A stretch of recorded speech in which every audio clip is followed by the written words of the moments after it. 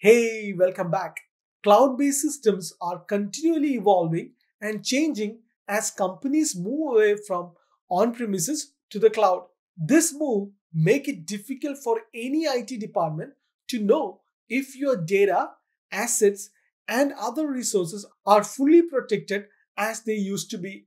Even a small misconfiguration of a new feature can increase the attack surface available for cyber criminals to exploit. In this lesson, we are going to learn about cloud security posture management.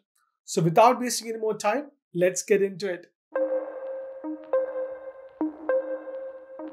Cloud Security Posture Management or CSPM is a relatively new class of tools designed to improve your cloud security management.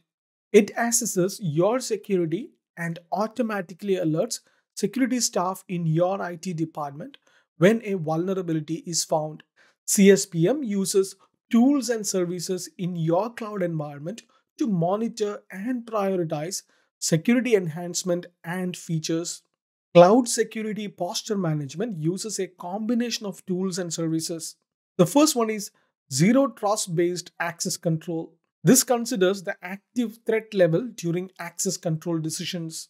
Another tool or service is Real Time Risk Scoring. This is to provide visibility into top risk. The next one is TVM, or it is known as Threat and Vulnerability Management. This establishes a holistic view of the organization's attack surface and integrate it into operations and engineering decision making. The next one is discover sharing risk. This is done to understand the data exposure of enterprise intellectual property on sanctioned and unsanctioned cloud services. The next one is to have a technical policy. So you can apply guardrails to audit and enforce the organization's standard and policies to technical systems. The last one is threat modeling systems and architectures.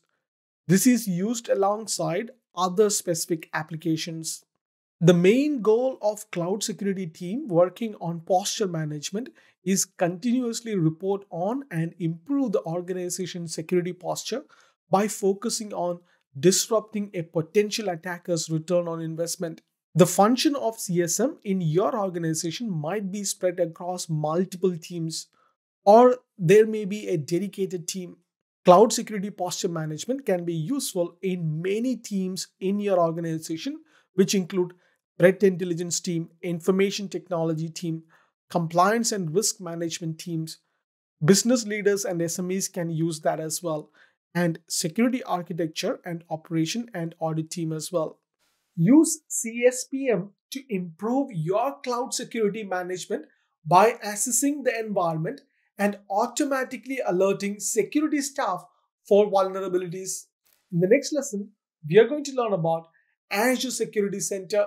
I will see you in the next one. Until then, take care.